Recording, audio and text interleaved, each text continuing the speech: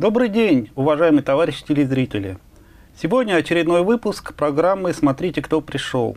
И на этой программе будет озвучена и проработана очень важная тема. Тема борьбы с раком и тема борьбы с артритами, с артрозами. Сегодня у нас в гостях заведующий кафедрой, э, заведующий кафедрой медицинской химии Химического института имени Бутлерова Константин Валерьевич Балакин. Добрый день. Здравствуйте. С вами журналисты Альберт Бигбов и Рустам Бафин. Константин Валерьевич, сразу к теме. Э, тема очень серьезная и очень волнующая.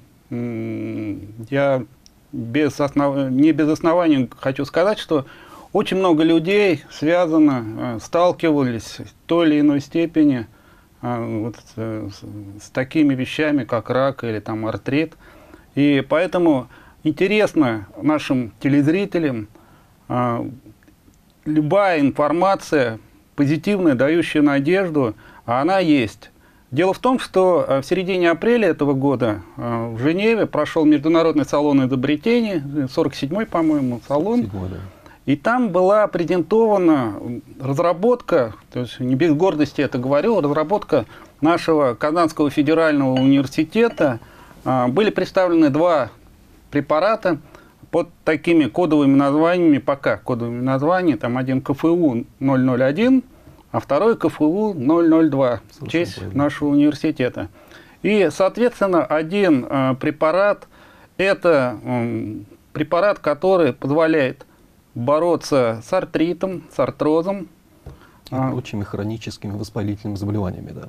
И другими хроническими воспалительными заболеваниями. А второй препарат – это препарат, блокирующий, э, я так понял, э, действие а, блокирующий реакцию раковых клеток на проводимую терапию. Блокирующий механизм резистентности, то есть сопротивляемости раковых клеток. Да. Совершенно правильно, да. Да, то есть получается, что теперь все виды терапии противораковые, все абсолютно виды, они э, становятся намного эффективнее, если будет применяться этот препарат. Ну, тут уже надо уточнять, не все. Большинство лекарственных соединений, попадая в раковую клетку, они становятся, так сказать, предметом пристального внимания, что ли, раковой клетки. И большинство этих лекарственных препаратов раковая клетка способна выкинуть опять наружу при помощи специальных рецепторов, так называемые ABC-транспортеры, специальные каналы. Вот каждая клетка раковая вокруг себя в своих стенках выстраивает целую сеть обратных каналов, это так называемые системы обратного транспорта. Угу. И вот любое лекарство, почти любое, которое попадает в раковую клетку, раковой клеткой распознается и выбрасывается назад в межклеточное пространство.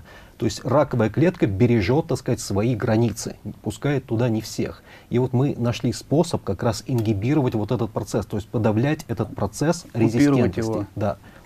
Дело в том, что почему это так важно. Э, дело в том, что вот этот процесс вот, который я только что описал, он является главным механизмом выработки устойчивости раковых клеток к лекарственным заболеваниям. А раковая клетка, ну, собственно, и отличается от, от нормальных клеток, в том числе тем, что она обладает феноменальными механизмами устойчивости. То есть мы даем сильные яды, чтобы они убивали эту раковую клетку, оказывается, что раковая клетка чуть-чуть, может быть, подсядет, а потом начинает оправляться. То есть это речь о каких-то мутациях, да, даже идет э, раковая? Даже не о мутациях, а приспосабливаемости. Приспосабливаемости. возникают некоторые сигналы, которые э, заставляют раковую клетку вот продуцировать на своей поверхности вот эти рецепторы обратного транспорта, угу и тем самым сопротивляться действию любых ксенобиотиков, то есть чужеродных молекул. Константин Валерьевич, мы немножко с места резко ну, взяли в карьеру. Да, да, сразу в да, механизмы То есть э, глубокие. давайте сначала поговорим э, про выставку Женевскую. Как прошла презентация этих двух препаратов э, и э, я еще хотел бы подчеркнуть, что э, Константин Валерьевич у нас является э, по совместительству советником по инновации э, предприятия, а, крупной компании Татмедхимфарм препараты. Татхимфарм препараты. Да, да. Татхимфарм препарат, прошу прощения. И, соответственно, данные, данные два данные два препарата, они были разработаны в кооперации. Кооперация, совершенно правильно, да. С этой уважаемой компанией. И вот расскажите, как вообще прошла презентация, что, каковы, каковы были отклики зарубежных коллег, исследователей, ученых, были бы, был ли вообще проявлен какой-то даже коммерческий интерес к вашим разработкам? Интерес был проявлен и очень значительный. Вообще 47-я вот эта выставка изобретений, это действительно крупнейший, наиболее авторитетный. Многие об этом свидетельствуют. Салон, вот такого рода салон изобретений. Угу. Мы там четыре дня присутствовали, у нас был свой стенд, у нас были свои плакаты, представляющие наши проекты. И все эти четыре дня это непрерывный поток специалистов, бизнесменов, ученых. Ну, были и простые люди, которые просто интересовались. И целый день с утра до вечера мы видели, ну, вот я там был единственный представитель нашего вот альянса от Казани, мы видели очень серьезный интерес западной публики, профессиональной публики, врачи, исследователи из университетов, бизнесмены к нашим проектам. Это действительно факт, без всяких натяжек. Э, что касается ну, вот этих медалей, как мы их получили, какой вообще принцип, кому там дают медали. Э, на этой выставке организовано как бы ряд секций, несколько десятков секций по направлениям, по специализации. Ну, например, вот, скажем, разработка лекарственных соединений или там, скажем, какие-то автомобильные, я к примеру привожу, э, аспекты, там, индустрия автомобильная, что-то еще. Э, так вот, э, нас инспектировали, нас проверяли, с нами беседовали именно представители комиссия, которая фокусирована на разработке лекарственных препаратов. То есть это серьезные очень профессионалы, это, это целая комиссия. Это какие-то международные комиссии, да, вы имеете? Это международная комиссия, да. Ну, на сайте выставки можно ознакомиться. Действительно, ведущие специалисты в своих отраслях. В основном это швейцарские специалисты были, но, по-моему, там э, было и международное представительство. Я не очень, признаюсь, помню. Э, эта комиссия, ну, во-первых, они просто ходили независимо поодиночке, изучали, а потом в определенный день и час они подходили и беседовали уже конкретно с каждым участником, ну, как бы именно конкретно по вот этому проекту задавали целый ряд вопросов.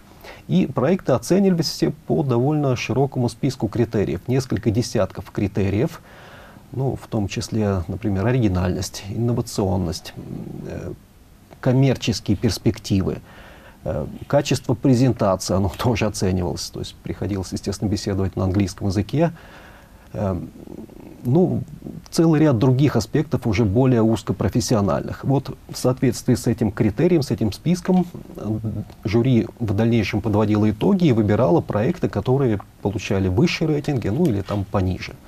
Вот оба наших проекта, пройдя вот через эти то есть они оба получили медали? Они оба получили медали. То есть система награждения там такова, что несколько проектов могут получить высшее отличие. Ну вот том числе и наши два проекта получили такие вот высшие отличия. А, скажите честно, вот э, на фоне э, других э, зарубежных разработок, они наверняка представлены были на той же самой выставке, вот, как смотрелись два этих препарата? То есть мы, это здесь речь идет о действительности, о действительно конкурентно, конкурентоспособной, если уж это правильно говорить, разработке, или пока еще вот как бы мы отстаем значительно. Ну вот в том, что касается этих двух проектов, но и не только этих. У нас ведь в нашем портфеле инновационном нашего Казанского федерального университета НОЦ фармацевтики ведь целый ряд молекул. Сейчас у нас не менее, вот официально в нашем портфеле, сейчас то, что мы представляем, это 11 разных молекул. То есть 11 перспективных соединений, э, которые, каждый из которых мы считаем обладает потенциалом лучшего в мире в своей терапевтической группе. То есть это... не только российский потенциал, но и нет, международный? Нет, безусловно. Это, мы готовы отстаивать это мнение. Ну, собственно, мы его и декларируем везде. И, собственно, никто еще до сих пор не опроверг эти наши декларации. Вот в том, что касается первых двух проектов, то нам представляется, и мне лично, что ну, потенциал там огромный. А пока я хочу заострить внимание наших уважаемых телезрителей, что речь не идет о готовых препаратах, то есть Совершенно аппаратах, правильно. которые вы можете пойти и в аптеку, там, мини-артрит, там, или, а, фу -фу -фу, не дай бог, там, что-то связанное с лечением, лечением рака, То есть их нет в аптеках. И вот скажите, как они, э, вот в каком сейчас они виде и когда они появятся, если это действительно столь э, такие впечатляющие вещи, э, такие разработки, когда они появятся в открытой продаже? Первые два проекта, о которых мы сейчас начали уже детально вести речь, это противовоспалительный, противоопухолевый. Есть все шансы, что они появятся уже на рынке, на аптечных прилавках, начиная с 2023 года. По крайней мере, мы очень надеемся, если все пойдет как бы, по оптимальному сценарию. Что должно быть для этого сделано, чтобы они... Какой а, путь они должны пройти? Они должны пройти клинические исследования. Это все называется именно так, но не просто клинические исследования, а целых три фазы клинических исследований. Каждая фаза сопровождается довольно серьезными, ну и содержательными процедурами, это, собственно, исследования, но и огромным, огромной работой, связанной с регуляторными аспектами. То есть, То я есть, так понимаю, речь идет об аспектах доказательной медицины. Доказательной медицины. То есть, нужны клинические испытания, чтобы э, медицин, э, доказать железно, медицински доказать, что это да, препараты. То есть сертифицировать. в клинике что-то провести, какой-то эксперимент. После этого мы должны его тщательно запротоколировать. Все это должно быть происходить, все процедуры в соответствии со строжайшими требованиями законодательными. После этого мы мы все результаты даем в Минздрав. И, собственно, там происходит тщательнейший анализ и оценка, и выносится вердикт по поводу возможности дальнейшего прохождения перехода на следующий этап, ну или если это последняя фаза уже о возможности вывода на рынок. Э, то есть все это очень тяжелое, очень кропотливое время и ресурсозатратная работа.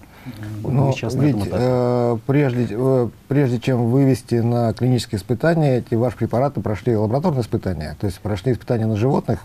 Прошли исследования, так называемые доклинические. Доклинические это исследования. исследования на животных моделях, ну или на, как мы говорим, инвитровые модели, то есть это модели не связанные с животными, это модели, например, связанные с исследованием на тканях или на клетках, или на отдельных ферментах или рецепторных системах. А вот расскажите об этих испытаниях. Что там произошло, как это сработало, а как это шло?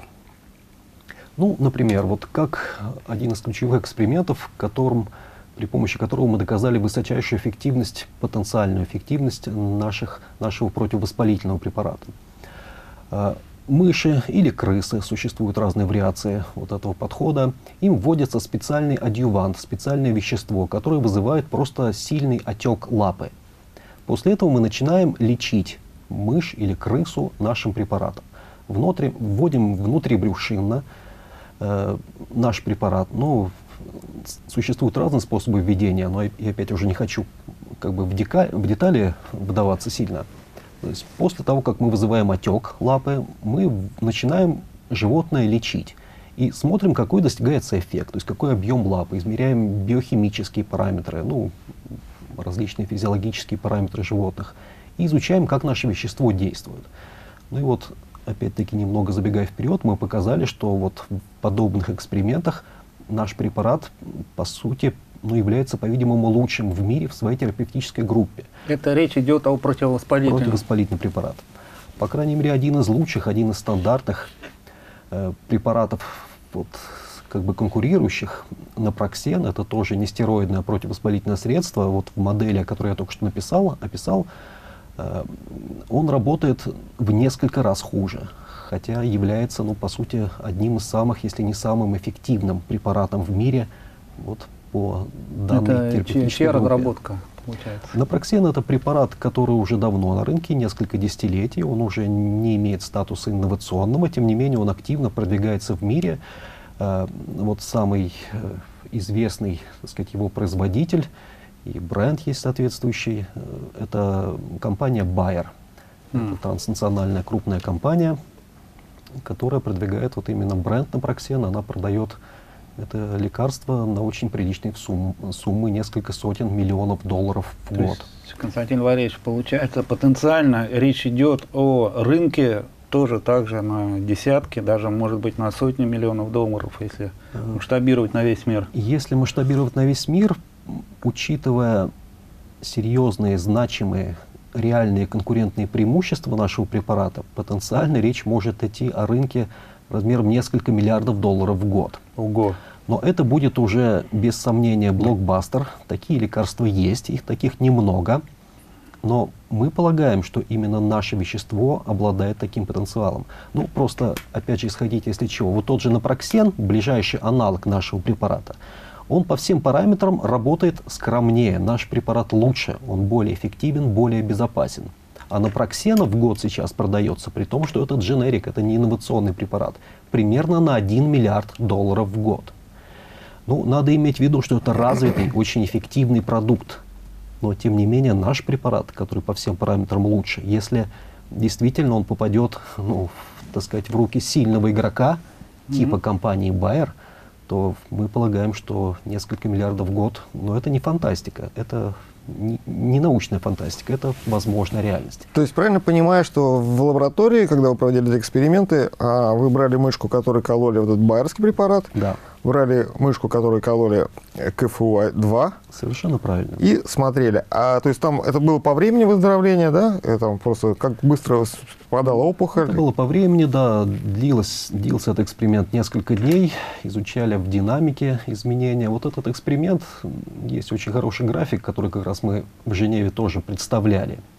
То есть там из него наглядно видно, что наше вещество в концентрации примерно в три раза меньше, чем байеровский препарат – ингибирует вот этот вид воспаления практически на 100%, тогда как напроксен байеровский в большей концентрации ингибирует это воспаление на 50%. И понимаете, тут еще что важно. Э, дело в том, что если мы вот подобные хронические воспаления не купируем на 100%, то они потом опять, вот если мы оставляем там 5% говорю, воспаления, это значит остаются так называемые провоспалительные факторы, которые опять эту ткань поджигают через некоторое время. Понимаете? То есть между 50% и 100% разница колоссальная. 50% просто облегчают состояние а 100% излечивают болезнь. Купируют полностью. Это принципиально. То есть да. э, такие болезни, как артрит, который считается, по сути, неизлечимым сейчас заболеванием, и да. просто речь идет весьма распространенным. Весьма, весьма распространенные, и люди, э, по сути, инвалидности очень часто заканчивающие то ваш препарат может э, таких людей исцелить. Судя по результатам на животных, да, это так. И вот такой очень важный вопрос. Э, вот, да, он прозвучит сейчас дилетантски, э, но вот поскольку большинство наших э, телезрителей, они довольно-таки слабо представляют вот подобного рода вещи. Вот да, хорошо, вот на мышках все замечательно, но мышка это даже не свинья и далеко даже не человек по набору хромосом, и прочее. То есть, вот, нет ли опасности, опять-таки дилетантский вопрос, нет ли опасности, что когда начнутся клинические испытания на людях, на живых людях, то э, могут возникнуть какие-то побочные эффекты и совершенно там нежелательные результаты. Этот вопрос вовсе не дилетантский. Вопрос, который вы задали, представляет собой одну из вообще, может быть, главных проблем фармакологии потому что мы можем исследовать на животных сколько угодно, получать прекрасные результаты, но переход к моделям клиническим, к человеку очень часто сопровождается э, какими-то проблемами. Может быть, например, недостаточная эффективность. На мыши прекрасно работает, на человеке не работает. Такие крайние ситуации редко, но бывают. Может быть неприемлемы какие-то токсические или побочные эффекты, которых мы не видели в животных моделях. Может быть даже совсем ну, простые, кажущиеся простые вещи. Ну, например, там, мыши мы вводим в желудок препарат, и он у нее прекрасно через стенки желудочно-кишечного тракта входит в системный кровоток и начинает лечить. А у человека по какой-то причине он не проникает через стенки желудочно-кишечного тракта. Такое бывает. У нас стенки вот этого самого тракта, они в принципе сходны с животными, но не идентичные. Ну, то, есть все-таки имеются некоторые больше, отличия. Наибольший, по-моему, у нас со свиньями, да, если уж брать по клиническим, ну и с обезьянами. С обезьянами, конечно, больше, с приматами это наиболее адекватная модель. Шимпанзе, бонобо, Она же наиболее, вот естественно, дорогая и наименее доступная.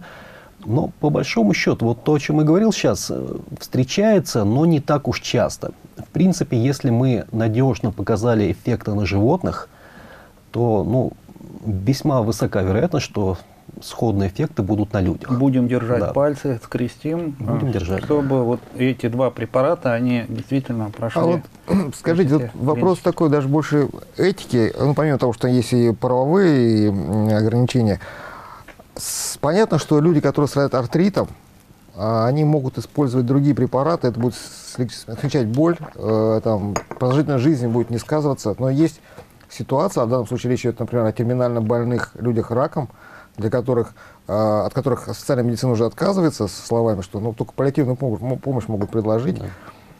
И, э, то есть, он говорит, человек и так умирает. Как ускорить как ускорить? Вот у вас есть препарат, который позволяет таких людей на уровне мышей уже показал, что второй препарат КФУ-1, да, который показал, КФУ-2. что он может э, КФУ-2, он может уже вытаскивать таких людей или продлять им жизнь, давать несколько лет жизни, или ну, в перспективе излечивать вообще. А на самом деле, кто придумал такой препарат, получит Нобелевскую премию. Речь об, об этом, по большому счету.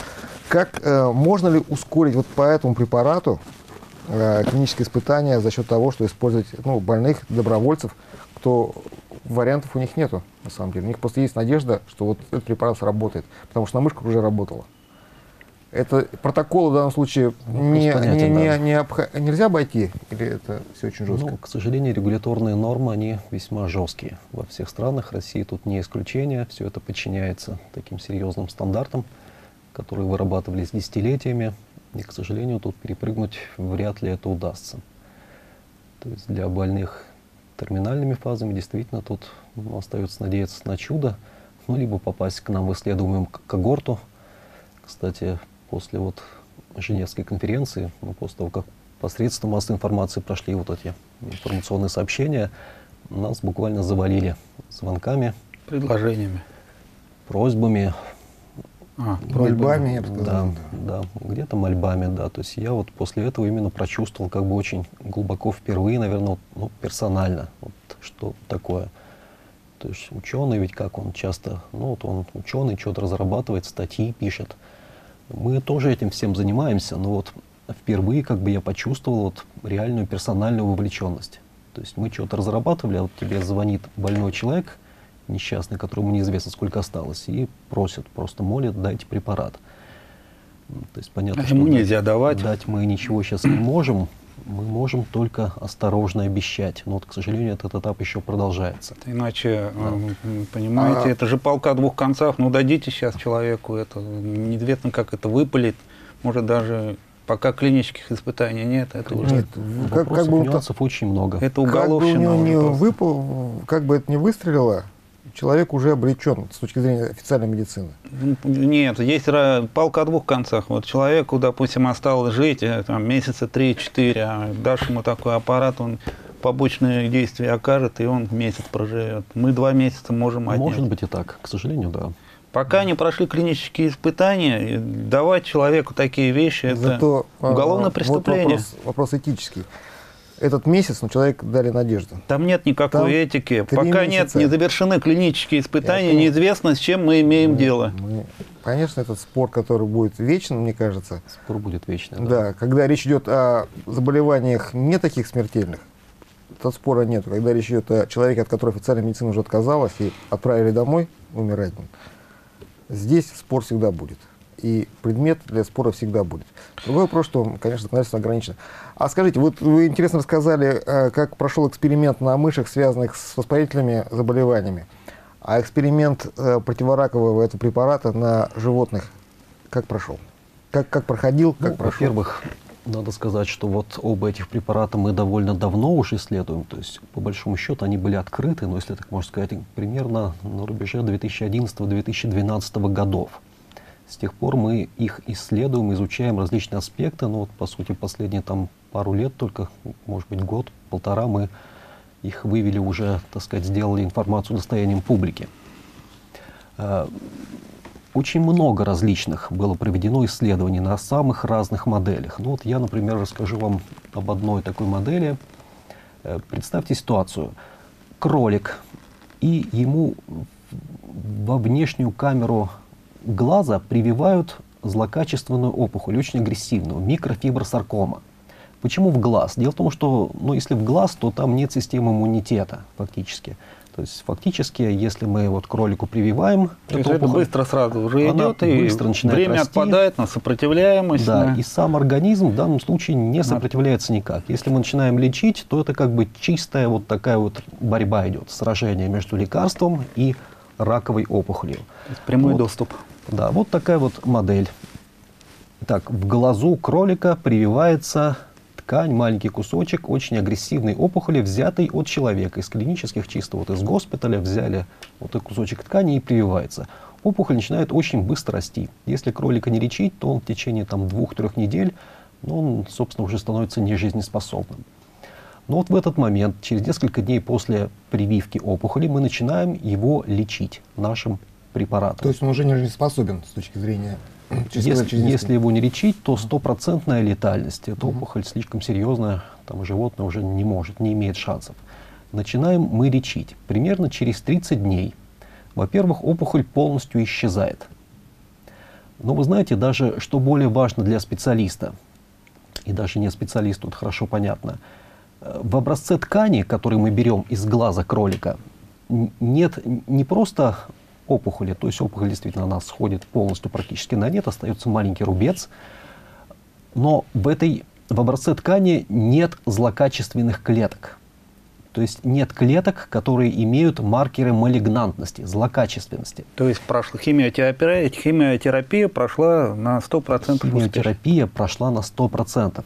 К сожалению, вот современные средства химиотерапии, в том числе из-за развитых механизмов устойчивости злокачественных клеток, практически никогда не долечивают вот очаг опухоли на 100%. Потом наступает ремиссия через Благодаря какое-то время. чему, да, опухолевые клетки дают так называемые метастазы. Они просто распространяются по кровотоку, прививаются где-то, приживляются в других органах и тканях. И через некоторое время да, дают новый очаг роста злокачественной опухоли. То есть в данном случае на 100% убивая опухолевые клетки, мы действительно даем организму очень хороший шанс, очень зримый шанс. Это мы показали достаточно достоверно. Вот один из таких экспериментов. А, Теперь э, давайте еще раз заострим внимание. Все-таки э, не раньше э, 2023 года, э, если все пройдет, вот пальцы молимся, крестим пальцы, будем молиться на это все.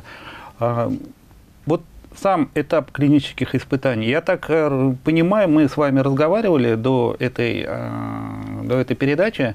А, Вы сказали, что э, по стандартам это КФУ не может их проводить, да, я так понимаю? Ну, там есть этические некоторые ограничения, там они не сто процентов жесткие, но, как я понимаю, там один из факторов, который учитывается при выборе вот, клинического центра, в котором будут проводиться исследования. То есть это, Это будут так. проводиться не у нас, а по какой-то жестко заданной процедуре. Ну, по крайней мере, первая фаза у нас проводиться не будет, да, уже центры определены, это будут другие центры. А можно сказать, в каких городах, в каких местах? Вы знаете, я это не очень помню. Где-то в Подмосковье вот у нас есть уже компания, которая Это- будет для нас проводить вот эти клинические исследования. Специализирующиеся Она на этом. специализированная компания, причем она вот по первому, по крайней мере, препарату, она специализируется именно на болезнях опорно-двигательного аппарата. Мгм. Где-то в Подмосковье у них находится клинический центр, по-моему, в Серпухове. Но я тут могу немножко ошибаться. А этот вопрос, знаете, с какой стороны интересен? А, вот сейчас нас будут смотреть казанцы, жители Казани, жители Татарстана. Да. А, то есть они могут попасть, кто-то из счастливчиков, да, условно говоря, в эти испытания. Что для этого нужно сделать? Вы задаете сложный Или это не к вам для этот меня. вопрос? Наверное, действительно не ко мне. Я ведь не занимаюсь вот непосредственно клиническими вопросами клинических исследований. То есть действительно есть тут надо понимать, что это отдельно как бы довольно сложная сфера, в которой много регуляторных, этических Да, аспектов. там сертификационный процесс. Да, совершенно правильно. Э, Ну, вы знаете, я такой вопрос задам, наверное, он просто перед нами как бы не возникал еще. Много разных других вопросов, вот этот конкретно не возникал. Я, наверное, задам этот вопрос нашим коллегам, которые проводят вот эту клинику, и попробую его выяснить. То есть имеется ли процедура, когда, скажем, человек из Татарстана хочет попасть в эту исследуемую когорту. Другое дело, что, опять же, вот сейчас вспоминаю, дело в том, что первая фаза – это исследование на здоровых добровольцах, по крайней мере, первого препарата противовоспалительного. Поэтому больного человека туда просто не возьмут. Ну, к сожалению, это специфика этого эксперимента. То есть там только здоровые молодые люди до 45 лет, на которых будет вот эта первая фаза клиники проходить. А в дальнейшем будут уже проходить вторая, третья фаза, это уже на больных людях. Там уже есть возможность теоретическая попасть, видимо, в, эти исследования. Ну, насколько я осведомлен э, о доказательной медицине, там идет не метод вот такого подбора, а там действительно работает слепой метод. И э, не, то есть, да, там человек, он хочет, хочет, но он просто не попадает. Чтобы выборка была э, безупречно статистически правильной, то там Совершенно должен... правы. Потом критерии включения могут быть для отдельных исследований очень такие специфические и жесткие. Ну, то есть, Ну, например, н- как недопустимо не просись, наличие- не получится. Совершенно правильно. Могут быть исключения по принципу там какие-то болезни, там сопутствующие, какие-то аспекты наследственности, какие-то аспекты предшествующих заболеваний, возраст, пол, ну и так далее. Критериев включения, как и исключения, очень много. Они подбираются специалистами по данному конкретному так сказать, эксперименту, То есть исследованию. есть первая стадия, есть вторая стадия, есть э, еще, Еще третья, стадия, да. третья стадия, и наступает 2023 год, и если все хорошо, то все будет. Если все хорошо, первые два препарата могут попасть да, к больным. А третья стадия это что за стадия? Третья стадия – это исследование эффективности и безопасности, как правило, многоцентровое. То есть, когда нужно показать, что препарат эффективен и безопасен уже действительно на широкой популяции. А, то есть То выборка есть, скажем, становится да, больше. Не в одном каком-нибудь, скажем, райцентре или областном центре, а ну, желательно, чтобы было многоцентровое исследование, то есть, возможно, разные люди там с разным генотипом, фенотипом. Да, так, и национальность показать, даже. да, и- То есть, по большому счету, на третьем этапе уже это достаточно будет широко представлено, и многие люди Широко могут попасть. представлено, да, да. А вот у меня такой вопрос, он тоже, наверное, дилетантский прозвучит. Вот э, в прошлом году Нобелевскую премию по медицине получили м, два ученых. Это американец, я сейчас имена их не вспомню, и японец, которые занимались проблемой э, как раз антираковых препаратов. А их лекарства, которые уже используются, и э, в некоторых случаях действительно феноменальные результаты, потому что там вот был случай, когда а, с раком четвертой стадии молочной железы а, человека вытащили. То есть человек, а, но у них работает по другому принципу, я так понял из нашего разговора. А, у них принцип построен на том, что иммунная система организма, они вводят какие-то препараты, которые позволяют иммунной системе организма распознавать раковые клетки. И а, одна из форм защиты рака это когда она прячется. Она очень хорошо мимикрирует, маскируется, и организм просто их не видит.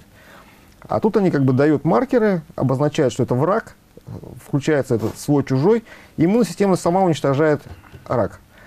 Я так понимаю, ваш препарат работает на других принципах. На других принципах, да.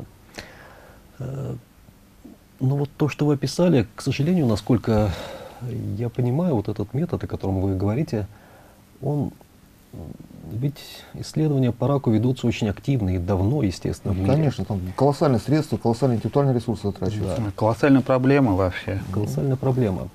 Дело в том, что до сих пор этот метод, он является далеко не универсальным. То есть у одного человека он срабатывает, а у девяти других он не срабатывает вообще. У кого-то иммунная система Да, разная. Иммунная система, иммунный статус у всех разные. Виды рака, виды заболевания, наследственности, они колоссально отличаются. Межиндивидуально, там, межрасовые, любые отличия могут быть. И ну, вот подобные вещи, особенно иммунотерапия, как правило, они еще к тому же ведь очень дорогостоящие. Вы Да, знаете, что- колоссальные там расходы, это несколько Я- миллионов долларов лечения. я недавно, да, э, читал статистику, то есть инновационная э, терапия раково-онкологических заболеваний в Соединенных Штатах. Средняя стоимость лечения инновационным препаратом, не обязательно даже иммунотерапевтиком, в настоящее время приближается к 100 тысячам долларов.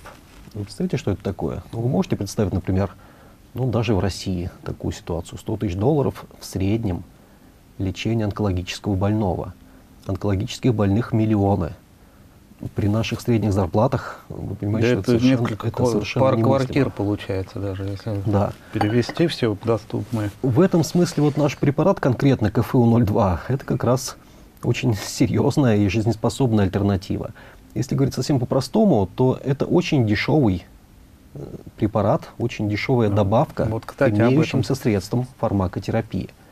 То есть мы берем, например, стандартный, недорогой противоопухолевый препарат, добавляем нашу там копеечную, ну, по крайней мере, по себестоимости изготовления, вот эту добавку, и она начинает лечить в 10 раз эффективнее, чем скажем, вот этот базовый препарат немодифицированный. То есть получается, это все не из э, не золотые какие-то, э, не золотые, не золотые да. средства, там, не бриллиантовые, а такие копеечные, дешевые, то, что эффективные. Может, то, что может работать в обычной системе здравоохранения. Более того, без существенного изменения стандартов лечения. То есть эту копеечную добавку можно вводить там просто либо в виде таблеток, либо в виде инъекции. Она, кстати, и то, и другое возможно именно с этим препаратом.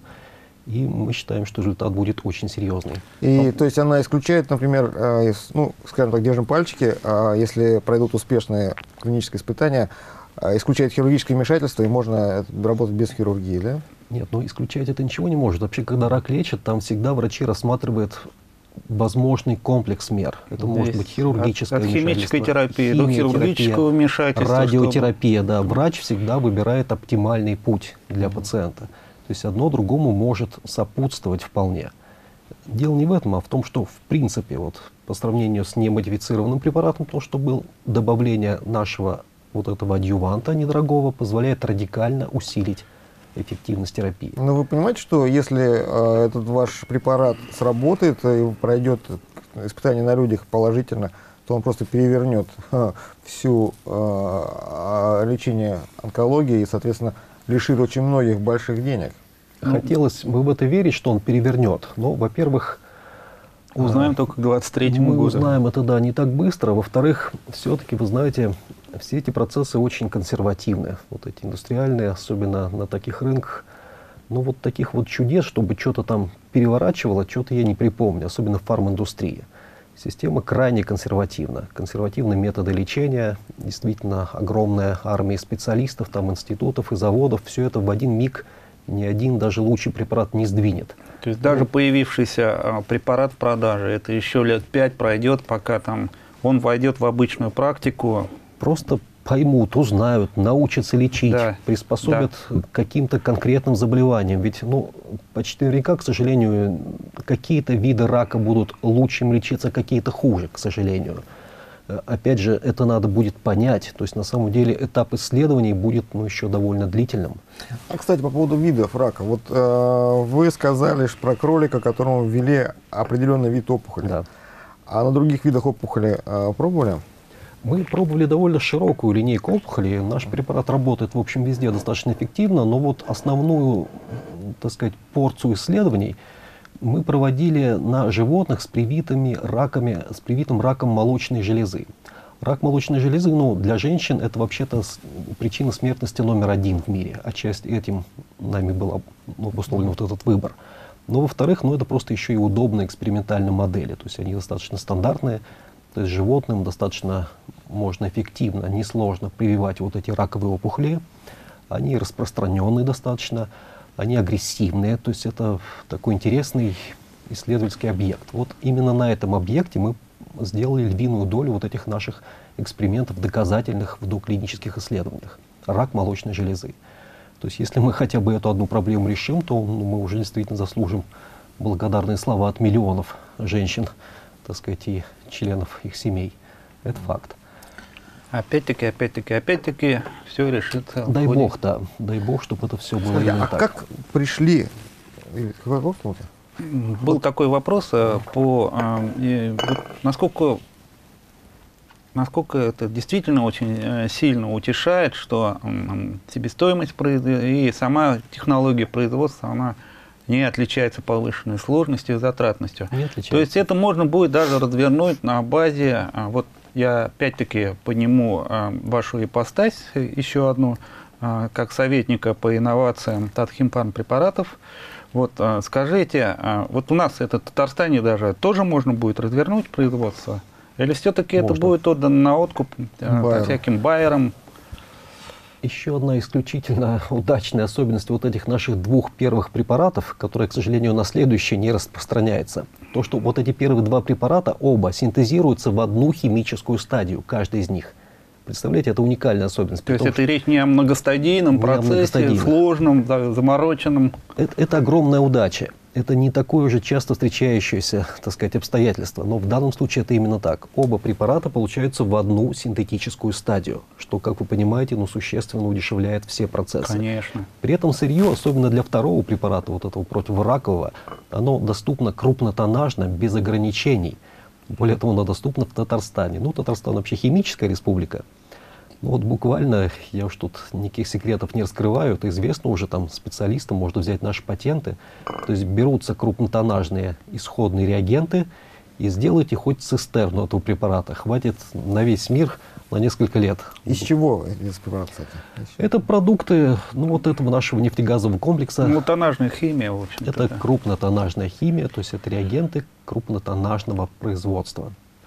Да, я не хочу сейчас вдаваться совсем уж там химические подробности. А Скажите, а вот вы сказали, начались эти исследования один, в 2011-2012 году, то есть прошло уже Примерно так, да. 7 лет, там, 7-8 7-8 лет, да, это, это развитые разработки. Как к ним пришли? Как пришли к этой формуле, как пришли к этой молекуле, как пришли к этой идее? Можно об этом рассказать? То есть путь. Ну, можно рассказать. Но тут бы, конечно, лучше бы рассказал, лучше мне рассказал бы Юрий Григорьевич Тырлин, директор НОЦ фармацевтики, поскольку он, ну, именно он стоял у истоков этих молекул, этих То есть разработок. это была команда, действительно, э, сотрудничество, э, кооперация, да, нескольких. Ну, начнем с того, что это стопроцентно оригинальные казанские разработки Казанского федерального университета. университета. Это наша гордость, это мы сами, химиков. все без, без Абсолютно этого, правильно. своими руками и Да. мозгами. Но я опять же вот говорил про крупнотоннажные производства. То есть вот этот продукт, который КФУ-02 противораковый, он вообще-то, если его применять в других концентрациях, он может использоваться в области нефтехимии. Да, это вот такой вот уникальный препарат. Он является ну, специфическим реагентом, который э, позволяет э, расслаивать нефтяные эмульсии, ну, после того, как их добывают. Э, этот препарат, добавление небольших доз этого препарата позволяет вот эту водную эмульсию расслоить. То есть наверху нефть, внизу вода. Это необходимые реагенты в условиях, если нефть сильно обводненная. Ну, в Татарстане они, она, насколько я понимаю, на большинстве, в большинстве случаев Ну, именно на такая, да. 98% Да. из воды. Ну вот не скажу, что тот же самый препарат, ну то есть другие концентрации действующего вещества, ну взяты, естественно, в рамках специальных, так сказать, условий уже применения к человеку, они позволяют вот как раз обеспечить вот этот эффект ингибирования системы обратного транспорта опухолевых клеток. Ну вот можно над этим даже иронизировать, но вот действительно вот тут крупнотоннажная химия и жизнь, я бы так сказал. И, Да. и на дуде грец, и, Да, это уникальная молекула абсолютно. А, и то, рыжнец. то, что ее открыли, ну, это было, конечно, я считаю, стечение, ну, воля судеб. Ну, просто появилась в какой-то момент модель исследования, ну, и просто это вещество протестировали, и оказалось, ну, были получены феноменальные сразу результаты, которые просто в дальнейшем тестировали, развивали, углубляли наше понимание механизмов. То есть это было случайное открытие? Эври, Это было случайное открытие, Эврика, да. Эврика, Да. кто-то крикнул Эврика, и все завертелось. Ну, опять же, я знаю, что Юрий Григорьевич Штырлин, он не любит слово «случайно», он всегда поправляет, что все это создано на базе Казанской химической школы. Ну, это действительно так. Ну, потому что как люди, так и оборудование, и некие подходы фирменные, они, конечно же, длятся, они проецируются из прошлого, это безусловно. Везет тому, кто везет. И это тоже. Есть еще такие аспекты, как интуиция. Безусловно, во всех вещах этих присутствуют. Сто человек пройдет, а один только призадумается над каким-то феноменом, может быть. И это приведет к открытию чего-то любопытного. Константин Валерьевич, вот вы нас заинтриговали, вы уже а, в самом начале передачи сказали, что есть у нас 11 разработок, вот а, две пока вот сейчас вот мы сейчас э, Две разговаривали, лидерные, а 9 разработок, э, это тайна, может быть, приоткроете что-то про них? Ну, вы знаете, нет, не особенная тайна. Ну, то есть, если мы не вдаемся в аспекты уже каки- каких-то конфиденциальных моментов. А, Я расскажу, что это такое. Ну, вот первые две разработки вы уже услышали, противовоспалительные, противоопухолевые. Мгм. Третья разработка КФУ-03. Это э, антибактериальный препарат, антибиотик. Очень интересный препарат. Это аналог известного антибиотика вторхинолонового ряда, но аналог модифицированный, улучшенный. То есть он химически так модифицирован, его структура, что он стал, а, более эффективным, б, более безопасным, и в, у него еще появилась специфическая особенность. Он стал снижать потенциал бактериальных патогенов к выработке лекарственной резистентности. То есть мы, видите, я назвал три как бы аспекта, три аспекта уникальности и инновационности. То есть он действительно ну, очень удачный препарат, хотя пока он еще не входит в клинику, просто мы немножко не успеваем все наши молекулы эффективно продвигать. Но тем не Но менее, скоро-скоро также где-нибудь в Женеве на выставке возможно, мы будут- надеемся. будет презентация. Надеемся. Четвертый препарат, КФУ-4. Это уникальный, опять-таки я вынужден повторять это слово, ну, потому что действительно так. Я тут, мы ничего не выдумываем. То есть уникальный противогрибковый препарат. Вы, может быть, наверное, новые люди осведомленные, как я уже из разговора понимаю. То есть грибковые инфекции на самом деле очень тяжелая проблема. Э, Летальность растет чисто от грибков. Э, Растут лекарственно-резистентные формы. Грибки форми- формировать Разнообразие грибков просто поражает. разнообразие. Они могут формировать очень устойчивые формы. Некоторые формы их спящие, то есть они спят, спят, потом раз просыпаются. Они могут жить в условиях тонких пленок. Вот, например, медицинский прибор, там какой-нибудь катетер. Ничего не видно, вроде бы даже его могли простерилизовать. А на самом деле грибок остался в виде тонкой-тонкой пленки, которая не смывается, ничем не уничтожается. Вот он какое-то время там спит, а потом раз проснется, и так из этого катетера даст куда-нибудь пациенту, что пациента сразу можно уже и отпивать. Нехорошо сказано. Но, к сожалению, вот ситуация с грибками именно, ну, можно почитать специализированную литературу, она, в общем-то, где-то драматическая. Мы разработали очень эффективный противогрибковый препарат, который действует лучше, чем все имеющиеся на рынке, по крайней мере, препараты сравнения. Это мы показали. По крайней мере, это на животных моделях, это на моделях инвитро. Ну вот препарат ждет, опять-таки, своего часа. Не то чтобы ждет, мы его активно позиционируем, но вот это в нашем портфеле тоже. Уважаемые телезрители, вот э, и, опять, и опять, и опять речь о перспективах э, рынка на миллиарды долларов. Если опять-таки это все будет клинически доказано. Рынок эффективно. большой, да, об этом никогда не стоит забывать, но я бы его, ну вот как исследователь, конечно, не выпячивал бы его, но для бизнеса это, конечно, крайне важно. Понимаете, что бизнес рискованный по-любому, если бизнесмен принимает решение в том, чтобы вкладывать в эти разработки там миллионы там, рублей или долларов, то ему, конечно, нужны более-менее понятные перспективы развития бизнеса. Ну, вот я считаю, что перспективы здесь огромные, хотя и риски, конечно, высокие. Так, и у нас еще КФУ пятый, шестой, седьмой. Пятый, шестой. Давайте я покороче, да. То я, я люблю, когда рассказываю о молекулах, я невольно возбуждаюсь, и меня трудно остановить. Я с Не, собой не, это знаю, давайте, да. сегодня. Вы нас возбуждаете. Хорошо. Хорошо, я продолжу. Э, КФУ-05. Значит, КФУ-04 это противогрибковый препарат. КФУ-05 это уникальный антисептик. Что такое антисептик? Это препарат широкого антимикробного действия. То есть препарат, который способен действовать, будет локально. Мы его не будем давать больному внутрь, он будет применяться, ну, скажем, снаружи. Это может быть на кожу. Ну, либо полоскать горло. Знаете, как препарат мермистин. Вот это как раз там полощет горло. Вот наш препарат примерно такого же типа. То есть это, это локальный антисептик. Работает против бактерий, работает против грибков, работает против вирусов, работает против простейших. И работает так, что мы до сих пор не нашли э, вот такого организма, против которого он бы не работал. Это получается супер мирмистин какой-то даже. Вот. Супер-супер-супер. Не хотелось бы как бы сравнивать с препаратом, который еще считается инновационным, широко на рынке распространен. Но вот в наших, по крайней мере, доклинических экспериментах наш препарат гораздо эффективнее, чем мирмистин. Тут пусть меня коллеги, так сказать, наши простят, но вот это такой Но мы доклинический пока факт, Мы, мы же пока беседуем о, а, А вот- не о том, что есть, а о том, Не о что... том, что есть, да. Тем Вот более, это препарат вы- в любом случае вы- на стадии разработки. Вы Да, описываете да. препараты, и э, мне кажется, там вокруг вашего здания должны куча шпионов стоять с разных разведок мира, да, чтобы отслеживать.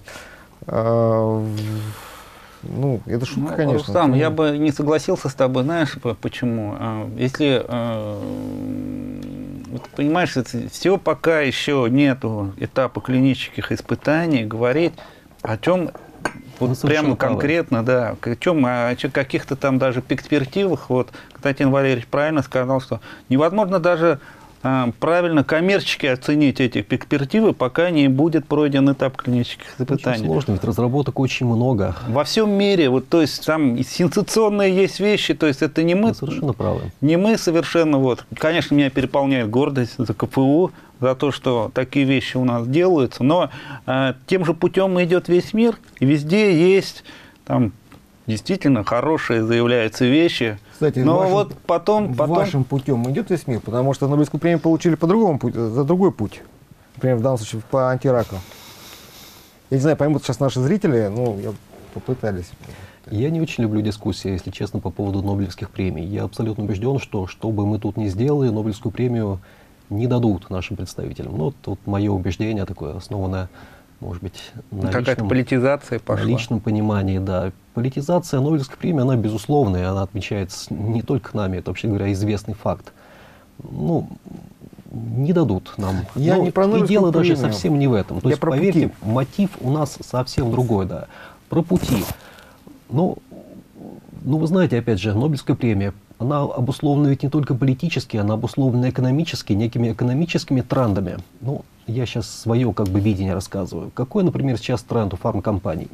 Фармкомпаниям очень нравится производить и продавать лекарства, которые являются очень маржина- высокомаржинальными, дорогими изначально. И как это может быть не щекотливо прозвучит, не слишком-то эффективными. То есть, понимаете, фармкомпании не очень бы хотелось вот взять и излечить пациента от терминальной болезни. Ей надо лечить пациента, лечить долго.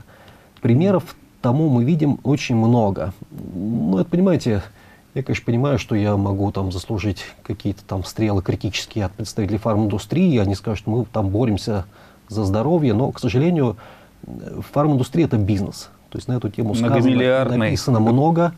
Сумасшедший, Ну, просто много миллиардов. Вы сказали, а вы знаете, сколько вот, годовой объем фарминдустрии, продаж фарминдустрии? Мне кажется, в районе триллиона долларов. Я... Ну, вы правы. Не все. Так вот, мои студенты, например, как правило, ну, гораздо Осторожнее. меньше, осторожнее в своих оценках. А- Нет, но ну- в реальности он даже больше триллиона. Последний год где-то триллион триста миллиардов долларов. Представляете, Вы вот такой рынок, рынок? какие-то простые эффективные решения могут просто Да. обвалить. Представьте простое эффективное решение. Противоопухолевых, противораковых препаратов ежегодно продается на 150 миллиардов долларов. Извините, кто будет этот Я рынок рубить, даже если на нем Сергей появится... Валерьевич, а вы не боитесь, что... Альберт, не боитесь за себя и мы, за, своих, знаете, за свою команду? Мы отбоялись уже свое. Если уж мы встали на этот путь, то у нас уже есть некие ориентиры такие, что у нас уже по-любому определяют наше движение по этому пути. Мысли такие возникают, но ну, волков боится в лес не ходить. Ничего бояться вообще не надо. Это вот мое убеждение уже ну, где-то философское, глубинное. Надо просто двигаться, делать, То есть- что должен. А, Я хочу вопрос свой, хочу свой вопрос закончить. Вот путь, по которому вы идете, он отличается от того мейнстрима, который обозначен от в- мейнстрима, совершенно в правильно. Нобелевской премии. Который в том числе находит отражение в Нобелевских Да. лауреатах. Да. И тем не менее, вы же в научном мире, научную литературу смотрите, э, в вашем пути кто-то еще идет? По похожему пути, по Ну, похожим конечно, тропинкам. Конечно, идут. А вообще, что значит наш путь?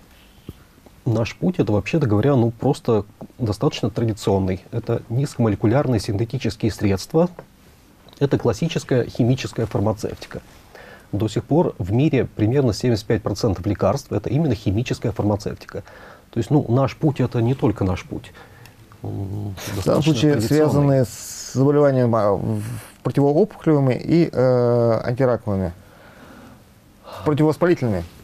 Ну, выбор нами нозологии, вы это имеете в виду наш путь, вот этих терапевтических направлений? Да, да, да. Ну, действительно, если я продолжу, если успею продолжить, так сказать, про наш портфель говорить, то вы увидите, что там действительно противоантиинфекционные препараты, противораковые, противовоспалительные, антидиабетический, антиэпилептический.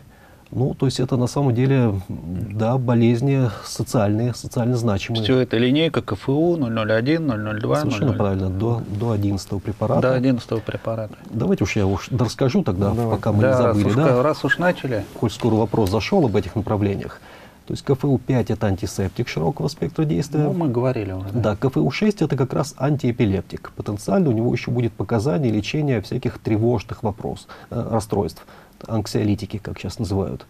Депрессии, тревожное расстройство, эпилепсия. Ну, вот эпи- эпилепсия, кстати, кто-то может сказать, что ну, редко встречается. На самом деле врачи говорят, что у 5% населения хотя бы раз в жизни встречается эпилептический припадок. Ну вот на самом деле, когда вот начинает нас, мы понервничаем, нас начинает трясти, да, вот это уже в принципе первая фаза эпилептического Просто припадка. в разных, э, Да. в разных этих э, сил э, по силе. Да, ну, конечно, у больных они выражены просто серьезно, иногда там вообще очень, там, иногда вплоть до летальных исходов бывает. Но вообще проблема достаточно серьезная. К тому же я обращаю внимание, что она сопряжена, например, с такими вещами, как тревожное расстройство. То есть у нас новый, очень эффективный препарат, опять же, мы на животных моделях показали, который очень эффективно борется с этими проблемами. Э, Седьмой препарат, ну вот это, наверное, наша прима, хоть он КФУ-07, я на нем чуть-чуть, у нас есть еще несколько минут? Да, есть, конечно. Я заострю. Вот мы говорили сегодня много о проблеме рака. Э, проблема действительно колоссальная, она, наверное, не только медицинская, там много разных аспектов ее, том числе где-то философская, по крайней мере, мы так к ней уже относимся. Мы с большим уважением относимся к раковой клетке, может быть, это звучит как-то даже непонятно многим, но тем не менее мы считаем, вот разработчики, когда мы изучаем раковую клетку, механизмы ее жизнедеятельности, как бы сопротивляемости, даже мы видим, вот. что это, это совершенный природный механизм. Да, то есть, Да, то есть он гораздо более устойчив, более приспособлен к жизни, чем наша нормальная клетка. обычная клетка. Да, она может существовать такая клетка в бескислородных условиях. Вот вы знаете, в чем одно из принципиальных отличий раковой клетки от нормальной? Раковая клетка потребляет примерно в 200 раз больше глюкозы. То есть нормальная клетка, она использует в основном для извлечения энергии кислородные процессы, кислород обязательно и нужен, глюкоза и кислород. А раковой клетке достаточно одной глюкозы. Она может много. жить без кислорода, но много, в 200 раз больше, чем нормальный. Я к чему вот этот привожу пример? Дело в том, что как вот нормальная клетка может стать раковой. В какой-то момент у нее просто происходит некий метаболитический, даже не буду говорить сбой, изменение метаболитическое. Может быть, нам это кажется, что сбой. А для этой системы кажется, ну, просто переход в более устойчивую форму, правильно? То есть происходит переход, в который клетка переходит на другой способ извлечения энергии, более устойчивый. Становится раковой клеткой.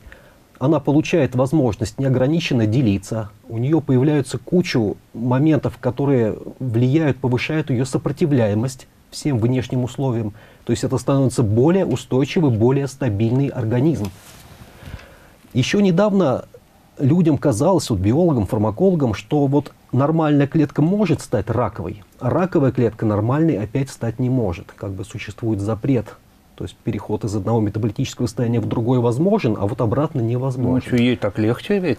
Ей так легче. То есть мы действительно выяснили уже где-то философски, что это более устойчивая форма. Так более того, эта устойчивая более форма возникает в том случае, если в организме уже накоплены некие системные проблемы, понимаете? То есть рак появляется у человека не просто вот раз и появился Не, случайно. рак у нас у всех есть, раковые клетки в той или иной... Ну, э, да, В той или иной степени есть, да. То есть, ну, мы сейчас установили, чисто мы с точки зрения философии сейчас рассуждаем, что клетка переходит в более устойчивое состояние.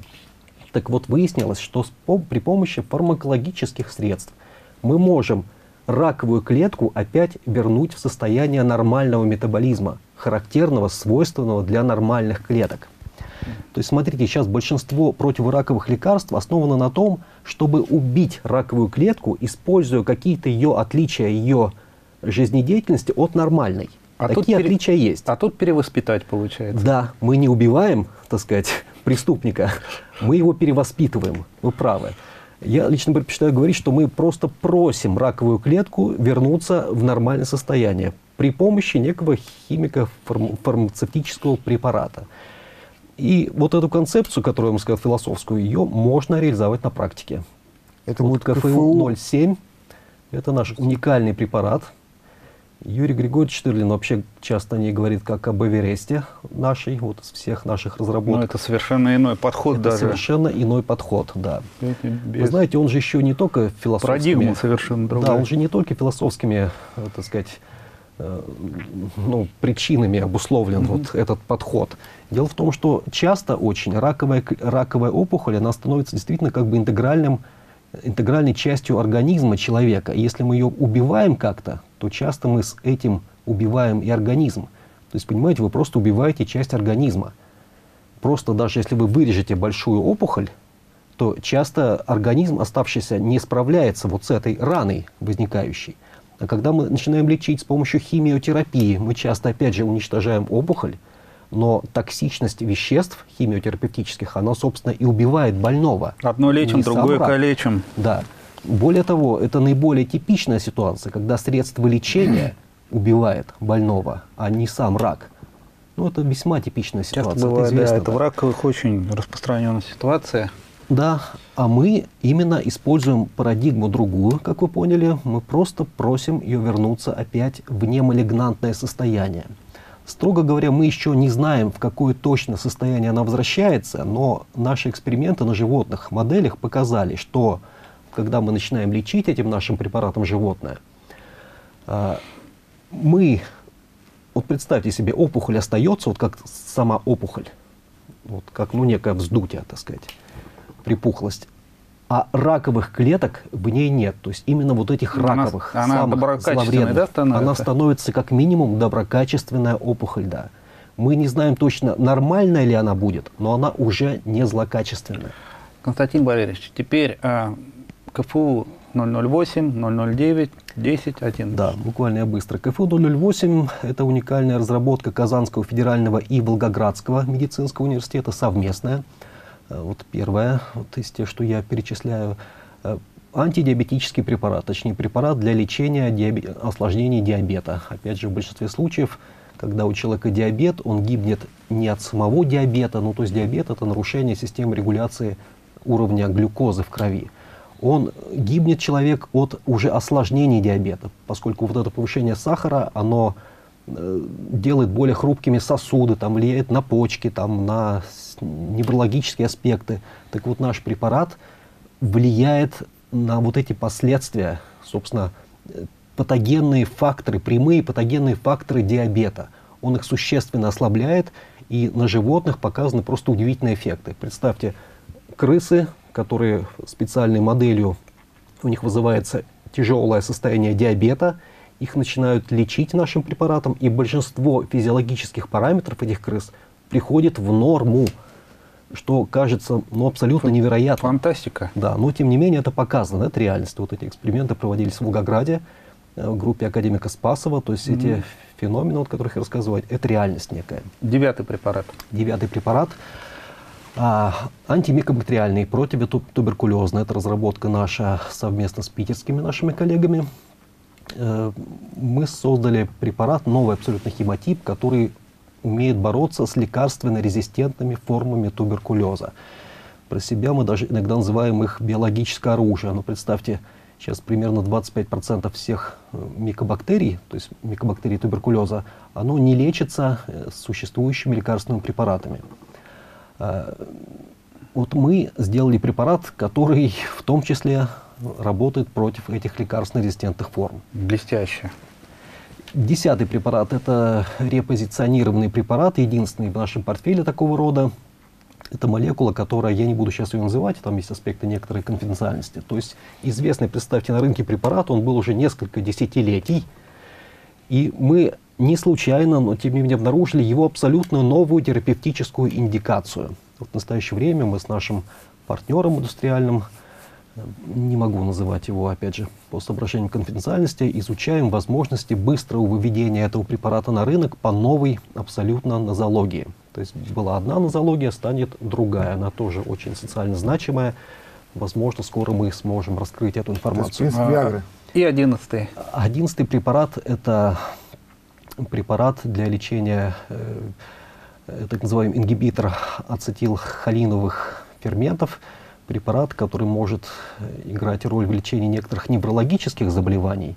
а также применяться в качестве антидота. Ну, то есть там могут быть некоторые назначения, в том числе связанные э, как бы с военными аспектами применения. Ну, наверное, я дальше пока не буду распространяться. И э, это наверняка не все, еще помимо это 11 совершенно не все. есть- 11 есть- препаратов, которые входят в наш портфель, который мы как бы позиционируем, представляем, которые, развиваем. да, которые сейчас пока на ближайших подходах. Уважаемые телезрители, к сожалению, время нашей передачи, оно вот так вот ограничено, и э, можно об этом, э, о том, что мы сейчас услышали, разговаривать часами, но все-таки я хочу подчеркнуть, что меня просто переполняет чувство гордости за наш Казанский федеральный университет, за ученых, э, за наших, которые делают действительно такие вещи. И ну, я не знаю, как это сказать, э, э, но мы будем надеяться, что пройдут клинические испытания, пройдут они нормально, и ам, эти препараты поступят на рынок, и надежда, которую миллионы людей вот связывают с появлением этих препаратов, они сбудутся эти надежды, и а мы станем здоровее, мы даже спасемся от чего-то, и нас спасут вот эти люди. Хочу напомнить, что сегодня гостем нашей студии был Балакин Константин Валерьевич, заведующий кафедрой медицинской химии Химического института имени Бутлерова нашего Казанского федерального университета. И с вами были журналисты Альберт Бигбов и Рустам Вафин.